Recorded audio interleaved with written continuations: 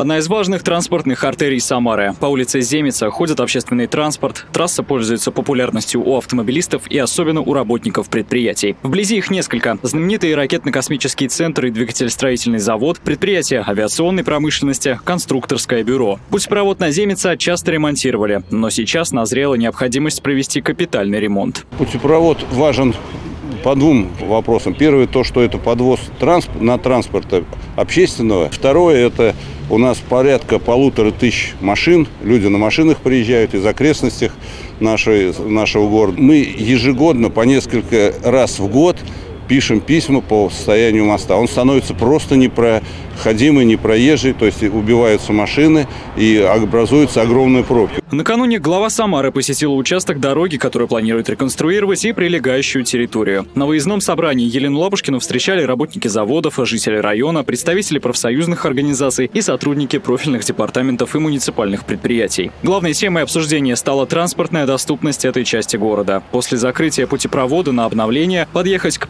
предприятиям и близлежащим домам станет труднее. Понимаем, что определенные неудобства будут и для жителей, и для автолюбителей, но тем не менее, тянуть уже больше нельзя, поэтому сейчас э, ищем максимально возможные варианты, чтобы минимизировать все неудобства. Чтобы исправить ситуацию, рассмотрели несколько вариантов изменения схемы работы общественного транспорта. Один из них через Кировский мост. Как предлагается и решено, трамвай 24, который сюда ходит, и 13 закольцевать и пустить в юнгородок, значит, через Кировский мост. У нас первое предложение было какое то вот э, пустить пиковый автобус из Барбошиной поляны до юнгородка. Значит, когда-то он ходил такой автобус 29 э, он ходил из Приволжского микрорайона, но сейчас мы понимаем, что было бы целесообразно.